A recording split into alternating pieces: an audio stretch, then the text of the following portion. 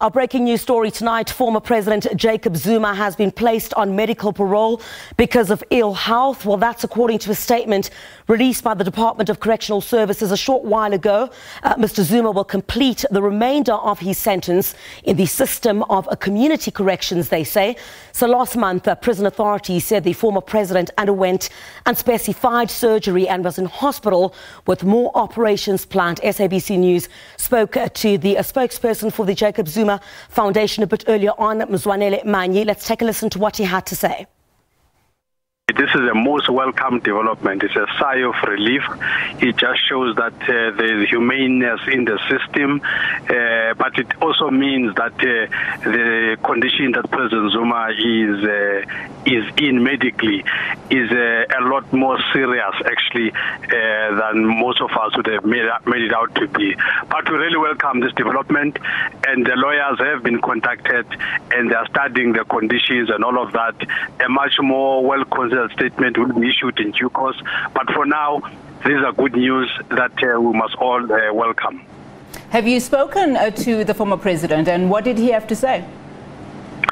Uh, no, we haven't spoken to President Zuma yet. Uh, obviously, we're going to have to make all kinds of means now uh, to make the contact. But as things stand, no, we haven't spoken to him.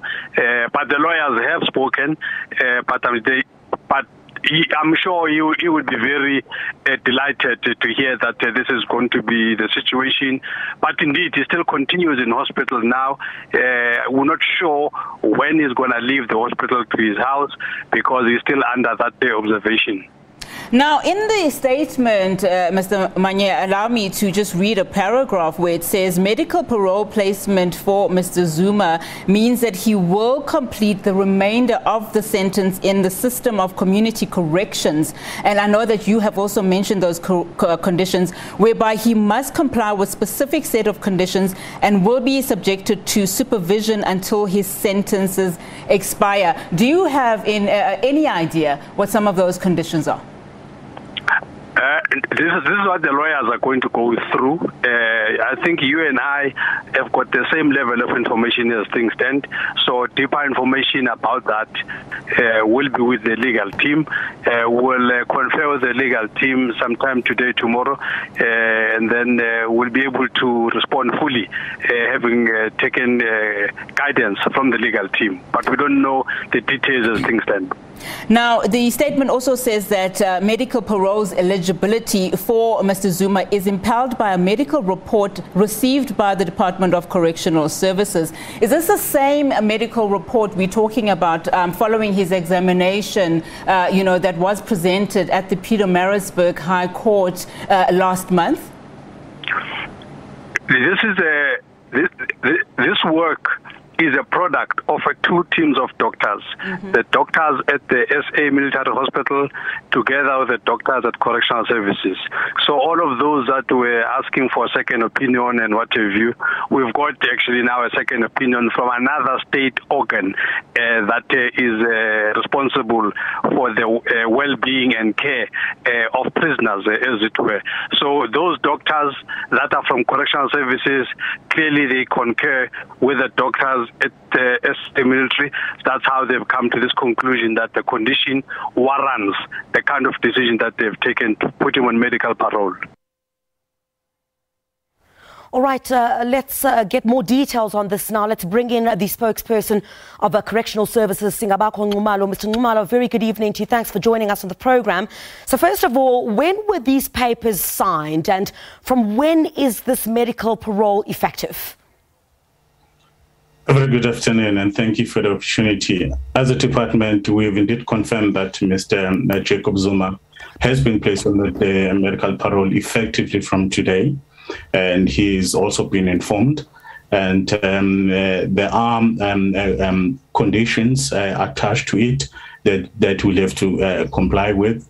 Uh, but for now, um, we must indicate that he remains in hospital up until such time that uh, uh doctors discharge him. Then uh, he can be taken home where he will continue to receive uh, medical care. But a decision had to be taken looking at the medical reports received that he, he had to be considered for medical parole. Uh, given that Mr. Zuma has not yet been released, you're saying that he's still in hospital. However, the paperwork is done. As soon as he's uh, uh ready to uh, leave the hospital, he will then be discharged. What is Mr. Zuma's condition currently? Um, Mr. Zuma continues to receive um, medical care. And uh, for the medical um, uh, parole placement is effectively from today, meaning that he is now in our community correction system. So we no longer refer to him as, as someone like as a sentence offender uh, who ought to be in a correctional facility, even though in an outside hospital. But it's someone who is now placed uh, back into the community but again remains in hospital up until such time that doctors um, discharge him, which therefore says that our committee corrections the um, branch will then now have to then um, uh, start with their processes in terms of supervision and also looking at other means that they will have to develop uh, to monitor yeah. him uh, until uh, such time that his sentence expires. Mr. Nxumalo, I'll come to those uh, issues very shortly, but um, do we have any indication at this stage when Mr. Zuma uh, will be discharged? Of course, you at Correctional Services will be the first to know. Uh, any indication from doctors at this stage when he will go home? That is a decision that can only be taken by the doctors, uh, the ones who are treating him. Uh, whenever they see fit that he, he now is fit enough that they can take him back home where he will continue to receive medical care is a decision that they will take. If they feel that no, um, he must remain in hospital, he will stay in hospital. But then the reports that have been submitted to us were quite uh, vividly clear that he has he had to be considered for medical parole. So medical parole wise, because it, he is someone um, um, who does require medical attention. Hence, then yeah. it's it, it's different from normal parole to say if your your papers are signed today you know you you leave the facility you know off you go home. No it's different. You are um, you require medical attention. Right. therefore up until such time that the doctors may say you can now go home then you can leave uh, um, um, the facility where you are. And i'm sure mr Nxumalo, uh, it will come as no surprise but uh, there would be some criticism uh, on the uh, release on medical parole of mr zuma from certain quarters. I have to ask on the basis of that uh, talk us through what criteria was used to grant Mr. Zuma medical parole. You spoke about uh, the medical report that was received, but in, in instances like this, uh, what criteria is used to grant someone medical parole? You, you've got to look at Section 75.7a of the Correctional Services Act and, uh, everything together with Section 79, which then uh, defines to say a person has to be terminally ill and physically incapacitated or suffering from an illness that severely limits that person from conducting daily activities or someone who can you know take care of himself. Therefore that person has to be considered for um, for, for, for medical parole.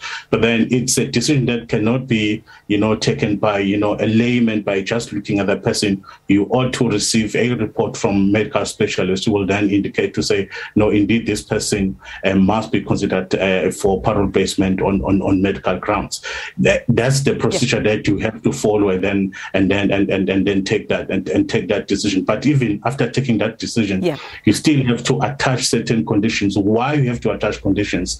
The person is still serving a sentence. The only difference is that you are now uh, outside right. a correctional facility, and the person will be, you know, um, ob- uh, obligated, you know, to abide by those uh, uh, conditions, but also to give this person person some form of dignity because this is someone who is ill to say maybe it's the last days or you know of, of this person to be in the comfort of of, of, of, of his family yeah. members you know, up until such time that, you know, that sentence expires.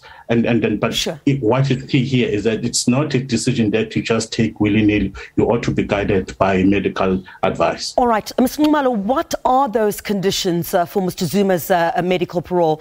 For example, will he be confined to uh, Nkandla? Will he be allowed to travel? Uh, what are some of those conditions?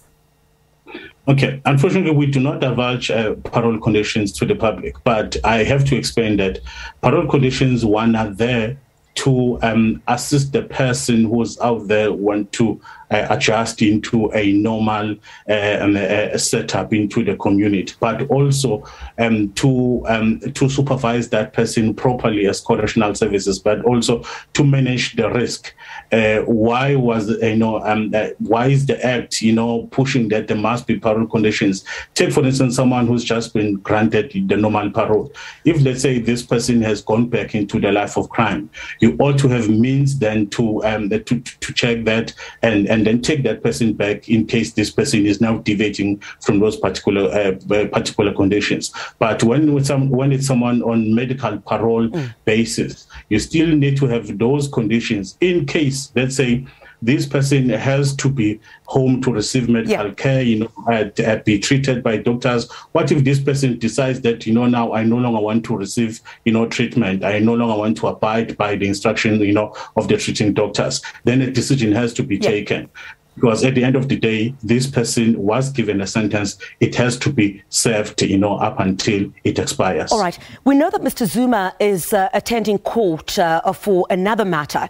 So when yeah. someone is granted uh, medical parole, what would be the instance? Uh, because obviously, in this instance, uh, you're basically saying you're releasing him. Uh, he will serve the remainder of his sentence doing community work. And what does this then mean? In terms of his fitness to stand trial for another matter that he's in court for? One i can i have to correct this. He cannot do community work. He's out you know he's back in the community. Hence we call it a, a system of community corrections. But someone who is ill cannot do any form of community work. All that we need to do is to um, um, uh, make it a point that there is supervision and that he abides by the parole conditions. That we, uh, uh, that we need to do. We can't expect someone who's ill to uh, undertake mm. community work. Uh, yes uh, that would be inhumane. But then a decision that we take as correctional services is when someone has been presented to you to say, yes, someone who's been um, uh, sentenced to this number of years for this particular offense, yeah. you deal with that person on the basis of what you have. Unfortunately, if they say there are other matters happening outside our jurisdiction, we unfortunately we, we cannot comment on that. I think the relevant structures there may have to come in. But on our side, we are dealing with someone who was sentenced to 15 months for for a particular offense. Yeah. And and the reports that you've received are clear in saying that this person needed to be considered for medical parole due to ill health. And that's a decision that we've taken. Singabakho Nxumalo, who is the spokesperson for the Department of Correctional Services, uh, on that uh, breaking news story. Uh, the former president, uh, Jacob Zuma, being placed on medical parole, indicating that uh, the former president is still in hospital currently and uh, that the doctors will indicate when he will then leave that facility and go home after, of course, the Department of Corrections received that medical report. That breaking news in this hour. Lots of analysis on that coming up.